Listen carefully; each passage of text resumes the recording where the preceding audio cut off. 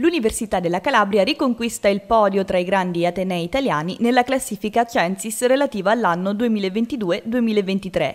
L'Ateneo si piazza al terzo posto con un punteggio di 90,3, a meno di un punto dalla prima dell'Università di Pavia, che si è attestata su una valutazione complessiva di 91. L'Unical conferma il primato assoluto, considerando tutti gli atenei, al di là delle dimensioni per i servizi che riguardano residenze e mense, e migliora il punteggio per le borse di studio. Un dato considerevole che posiziona l'Ateneo in controtendenza rispetto agli altri presenti nel resto del paese.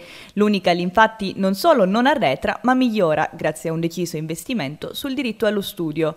Dall'analisi del Censis emerge inoltre un calo delle iscrizioni negli Atenei italiani correlato alla pandemia e alla contrazione dei redditi familiari. Anche qui l'Unical sorprende in controtendenza. I nostri dati non solo confermano il grande aumento dello scorso anno, ma segnalano un ulteriore incremento del 2,7% degli iscritti.